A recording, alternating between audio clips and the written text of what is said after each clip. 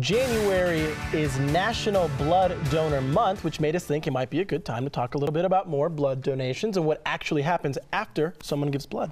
And a lot of people do, and we all they always need blood. Always. Bonfils explains how it's year-round they need blood, and they say it takes about 3,000 donations every week just to meet the needs of patients in Colorado and beyond. So Dr. John is joining us again to talk about this and what's behind the blood donation process. And you're right, that 3,000 is just here in Colorado. It's not nationwide, it's just in Colorado. Just in Colorado, and every week. Right, exactly. But we thought it'd be kind of interesting that, because a lot of people know what happens when you donate blood. You get a quick stick of a needle, blood fills up a bag, then you get some apple juice or another kind of treat, maybe get a t-shirt, but a lot of us don't know there's a big difference between once it's processed and when it's donated and what happens in between. And so that's the main thing. We wanted to show that. So we got a tour of Bonfils Blood Center today to learn more about that in-between process. Now here's what happens. Pints of blood are in process. That's the blood you give. It's in process. Then they're put in a centrifuge. That's this big spinning machine. It separates the plasma, which is the clear part of the blood, from the red blood cells. The plasma is then frozen after it's separated to save it, and the red blood cells are filtered so they can remove out the white blood cells. That prevents patients from reacting to anything in the blood when it's given to them. Then the red blood cells are put in quarantine storage until samples of the blood are tested for a huge list of diseases. Now, once these tests are done, the blood is then labeled by type. For example, O negative, A positive. That way they know what kind of blood they have, and it's moved into an inventory area. A distribution team works 24 hours a day, seven days a week, every day of the year to take the processed blood, send it out to hospitals all over Colorado. But the important part is those who work in the lab say their job, although it's very detailed oriented, it's also extremely rewarding. We are saving lives every day. That's, that's one thing I would say to the public. If you're, get, if you're going to donate uh, blood, it takes like maybe an hour and a half of your time by the time you drive here and drive home and donate.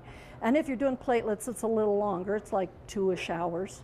But really, an hour or two hours to save somebody's life, it really isn't that big of a sacrifice. And she makes a great point. It truly isn't, and it can save lives. Now, there are actually three different parts of blood that are used for patients red blood cells, platelets, and plasma. Each of them has different shelf life, which makes the need for blood constant here in Colorado and, of course, across the nation. In fact, frozen plasma, which is taken from each blood donation, is actually good for up to one year. And Bonfils says you can save more than one life with each donation.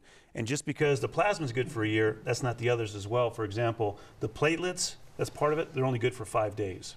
And so it goes anywhere from five Oh, days wow. to one year. So again, that's why there's that constant need for blood. So donors can come in Exactly. every day. And you know, a lot of people think about donating when they get the call out and saying, "Hey, we're missing this kind of blood, and we know there's a big, some big incident that happened. We need blood." But they need that blood on a continuing basis. So please donate. Well, and we just heard of that Denver police officer that lost all that blood after he was shot.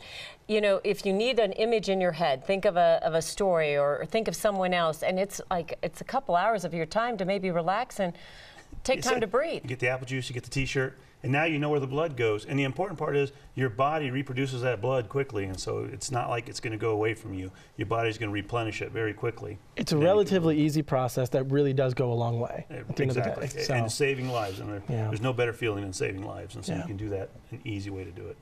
Well, because of you, Dr. John, I think that's why we moved our old set into this space because we needed to have you come out here and join us. Great, So we're on this set for a little while until we get the new one. That's good, and I like this. It's very I know nice. because we were too cramped in there in, That's this, true. in the newsroom. So now that was an important out bit. reason to It get out was. here. It was a great reason for a That's great the cause. power of Dr. John. There you go. That's what I say. I got to tell my wife that. I have a lot of power. I'm sure she's real. That'll she'll go love for to big. hear that. I'll That'll the- go I for see the eyes big. rolling. Yeah. But thank you for sharing that. That's a lot You of bet. It's insight. nice to see behind the scenes. Absolutely. The man behind the curtain, as we say.